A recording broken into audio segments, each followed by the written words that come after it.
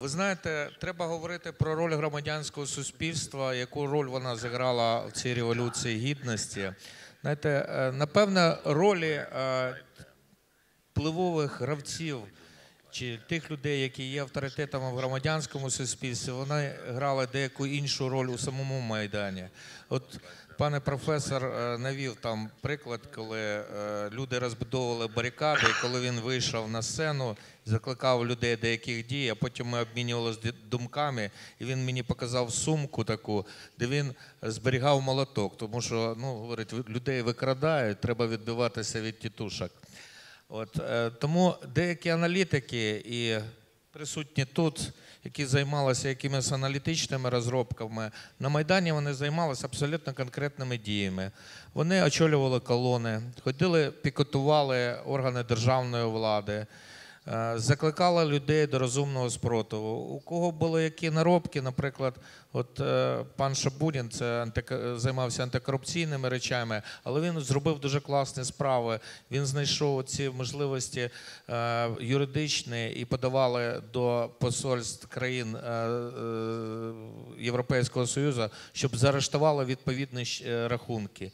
Не завжди нас чули, почули тільки після перемоги.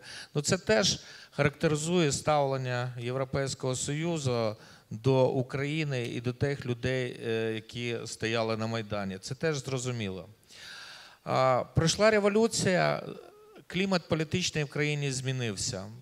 Можна вільно виражати свою думку і не е, боятися, що тебе викрадуть і відвезуть ліс, і будуть питати або е, застосовувати тортури, і невідомо, чи ти залишишся живим. Ситуація кардинально змінилася. Громадянське суспільство отримало нові можливості.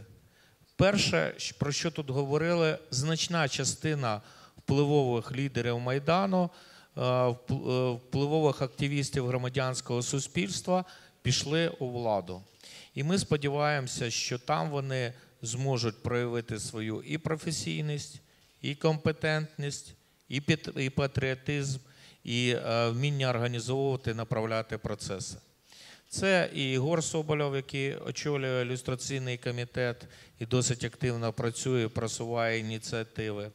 Це і Тетяна Чорновіл, це і Дмитро Булатов, це і пан Палій, це і Євген Ніщук. І ще багато-багато людей, які переконані просто сотень, які я знаю точно, вони залучені до системи державного управління на менш, на менш нижчому рівні.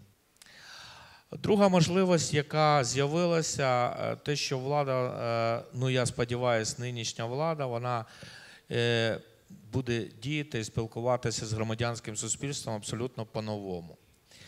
Да, я от нещодавно став керівником штабу виборчого штабу Юлії Тимошенка, я ще не звик до нової ролі, так достеменно, але скажу, що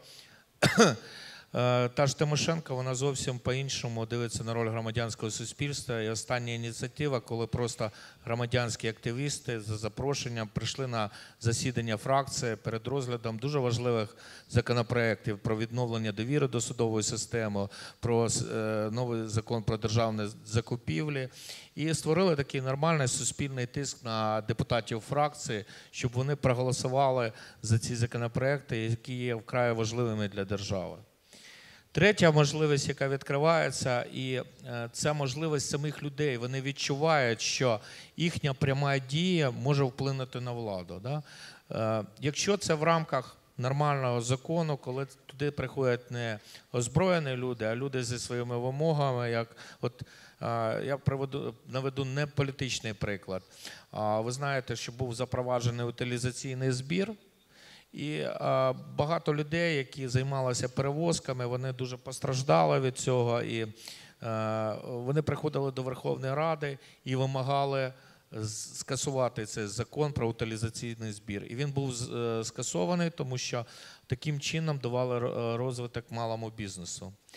А, і- ще одна можливість, яка відкрилася до громадянського е, суспільства, це громадянське суспільство сьогодні може а, формувати порядок денний, політичний порядок денний в країні.